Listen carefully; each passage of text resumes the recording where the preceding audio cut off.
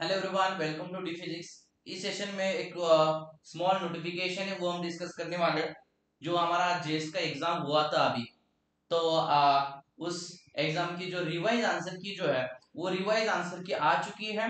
तो उसमें क्या चेंजेस है तो वो मैं यहाँ पे आपके साथ डिस्कस करने जा रहा हूँ। तो उसमें चेंजेस ये है कि ये जो क्वेश्चन नंबर सेवन आपको दिख रहा है सी सेवन तो ये जो क्वेश्चन है तो पहले वाली जो आंसर की रिलीज़ uh, हुई थी इसमें इसका आंसर जो है वो 1.73 आपको गिवन दिया था।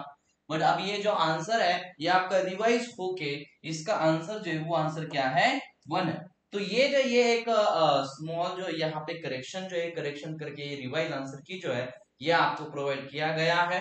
तो यहाँ से आपके जो this is the question of three marks तो जिन्होंने आंसर इसका वन है उनके जो थ्री मार्क्स इसमें प्लस हो जाएँगे।